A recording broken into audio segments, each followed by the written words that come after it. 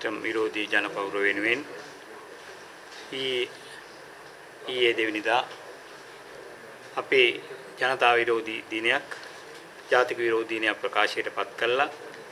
සියලුම රාජ්‍ය ආයතන වැඩබිම්වල නගරවල දිස්ත්‍රික්කවල ජාතික විරෝධතා කළු කොඩි ඔසවමින් කළු පටි බඳමින් ඒ වගේම සමහර තැන්වල වැඩ වර්ජනය කරමින් සුළු පෑ ගණක් සියලුම ජනතාව ඒක රාශි කරමින් කරගෙන ගිය ජනතාව ජාතික විරෝධතා දිනේදී මාධ්‍යවේදීන් වශයෙන් ඔබ කරපු ඒ කාර්ය අපි ඉතා අගේ කොට සලකන්න ඕන ජනතා පෞර සයිටම් විරෝධී ජනතා පෞරය.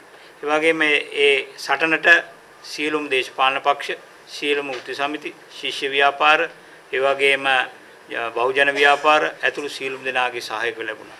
අද අපි සන්තෝෂ වෙන්නේ ඒ සහයෝගය ලැබීම මෙම ප්‍රශ්නය වෛද්‍යවරුන්ගෙන් ශිෂ්‍යයන්ගෙන් ඔබට ගිහිල්ලා ජනතාවගේ ප්‍රශ්නයක් වෙලා තියෙනවා ඊයේ තිබ්ච තත්ත්වයන් උඩ.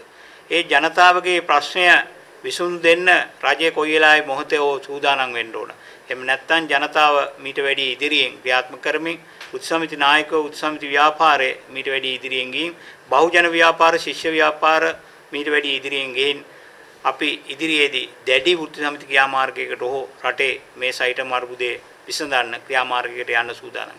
ඒ යන්න ඉස්සෙල්ලා අපි රජයෙන් ඉල්ලා සිටින්නේ මේ ප්‍රශ්න ගැන කල්පනා කරලා මේ ප්‍රශ්නේ තවත් ව්‍යාකූල නොකර එක ඇමතිවරයෙකුගේ දෙන්නෙකුගේ තුන්දෙනෙකුගේ මනදොල පුරවන්න නැතුව මේ රටේ ජනතාවගේ අපේක්ෂාව ශිෂ්‍යයන්ගේ අපේක්ෂාව ඒ වගේම රටේ ජන මේ අපි ඉදිරියට එන්න ඉන්න ශිෂ්‍යයන්ගේ මේ රටේ සෞඛ්‍ය සේවාව නිදහස් අධ්‍යාපනය රැකගන්න සියලු දෙනාම අපිට මේකට උදව් කරලා මේක අවසන් කරන්න කියලා.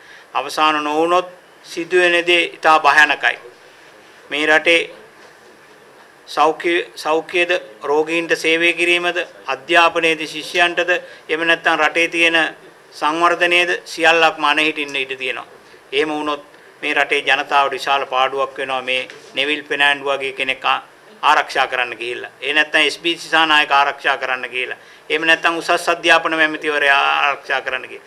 ඒ වගේම හැමතැනටම පණින හැමතැනට දුවන හැම දේශපාලන පක්ෂයක සමාජිකත්වයේ ගන්න රාජිත වගේ මිනිස්සු ආරක්ෂා කරන්න කියලා විශාල ප්‍රශ්නයකට මුහුණ දෙන්න වෙනවා. නිසා අපි ජනතාවගෙන් මේ සටන සම්බන්ධව තවදුරටත් පෙළ ගැහෙන්න කියලා ආරාධනා කරමින් රජයට අපි අනුතුරු හඟවනවා මේ සටන සතියකින් විසඳුවේ නැත්නම් ඊට වැඩි දැඩි ක්‍රියාමාර්ග අනුගමනය කරමින් ඊට වැඩි දැඩි උත්ති සමිති ක්‍රියාමාර්ග අනුගමනය කරමින් වෙනත් ක්‍රියාමාර්ගකට පොළඹවලා මේ රට අක්‍රිය කරන්න එපා කියමින් සයිටම් විරෝධී සටනට ජය වේවා කියලා ප්‍රාර්ථනා කරමින් ඉහෙට වෙනවා.